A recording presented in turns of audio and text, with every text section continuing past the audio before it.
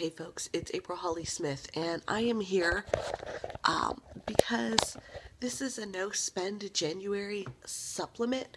I had somebody post a question that I thought was was actually legit. They said this is a legitimate question, and I agree with them. And I felt like I wasn't able to properly answer the question without like writing an essay. Whereas I knew in like four minutes of chatting, I would be able to go ahead and explain my thoughts and reasons and um, purposes. So, forgive me, I'm going to look at my computer and read this question so that you have it verbatim. So, Brown Eyed Girl says, Legitimate question here. I'm not trying to sound sarcastic, but how is it saving any money? Doesn't buying everything ahead and not buying for a month cancel each other out since you're just shifting your spending from one month or from that month to another? For example, if I spend $10 a month um, and plan on not doing so for a month, so I go ahead and buy an extra $5 for two months, then isn't the same as isn't all the same spending money? Okay, so let's talk about no spend a January in this context and the purpose of it. If if you have um, a five dollar grocery budget and for this month and a five dollar grocery budget for next month, and you spend ten dollars this month, and then save five dollars next month, that totally cancels it out. That math is easy. You're just canceling it out. That's not actually saving money. Um, that is just shifting it around the purpose of no spend January and the planning ahead is for you to do all of this within your regular budget. So it's not to spend t- five ten dollars this month, so you have your five for this month and your five for next month. It's to spend your five dollars this month and do that in a way that is more frugal and more purposeful and planned so that next month you have what you need without spending any extra this month. Thus, that $5 you didn't spend would be savings.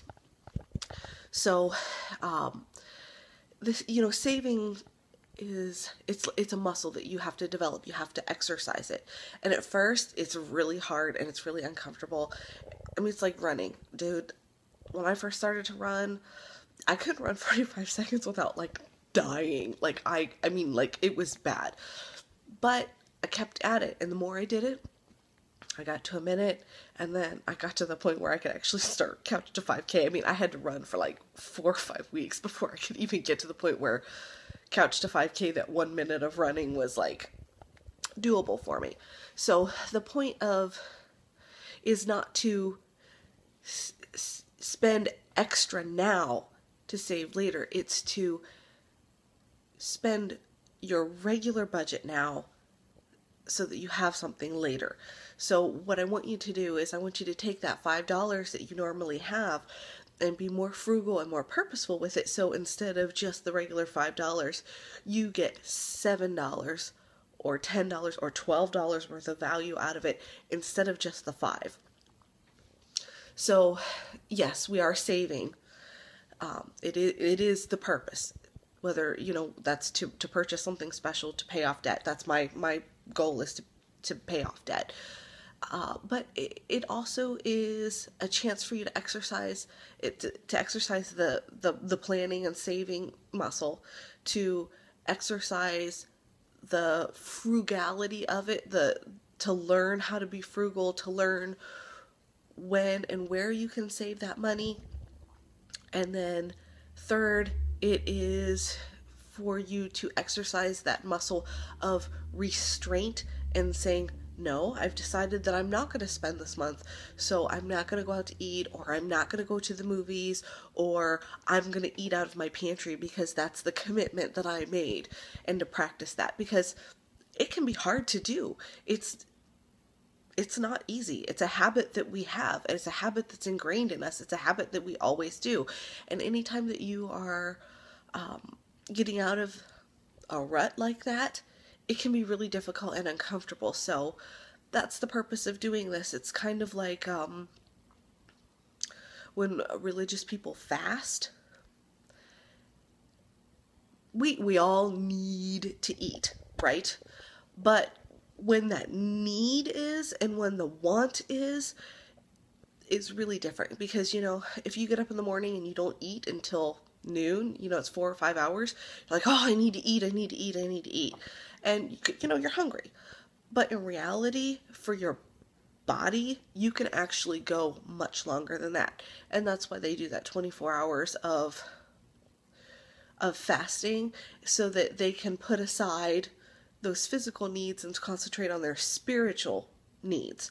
And so, what they do essentially is the want of food they set aside until they really need food so that they can pay attention to their spiritual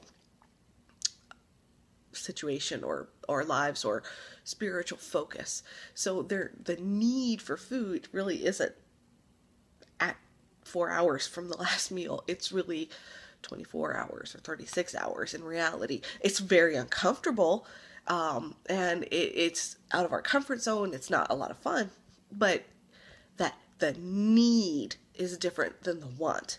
And that's a lot of what um, the No Spend of January and the No Spend No Spendtember are about is is learning where that need and that want are and and for a time moving that need back.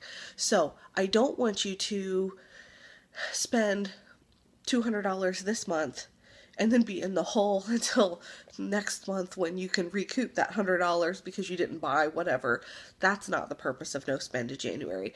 The purpose of no spend to January is to to exercise that planning muscle and say, "Hey, this is what I need, this is what I want."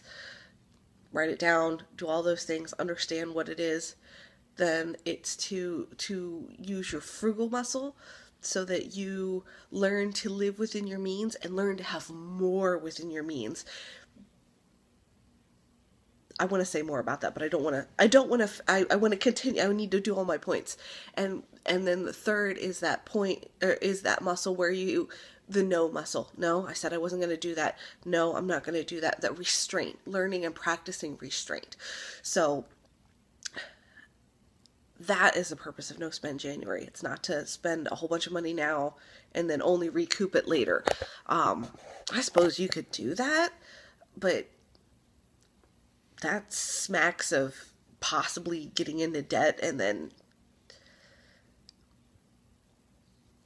not using your restraint muscle and then it being bad, like ending up in the hole. And nobody, don't do that, don't do that. Um, but you know, here in the United States and here in, in the developed world, we have so many resources and we have so much. We don't really want for anything. Um, and this is one of those times where we can practice a little bit of restraint and a little bit of, no, I'm going to wait on that and um, redirect some of that money, some of that time, and some of those uh, those energies into a focused purpose. So, while it is different, it is parallel to a religious person fasting and not accepting food for a specific amount of time to gain a spiritual benefit and this is very much like that for your for your wallet. This is a financial fast so that you can focus that fine those finances on something else and receive a finance benefit. So i hope that answers your question brown eyed girl because it was a great great question.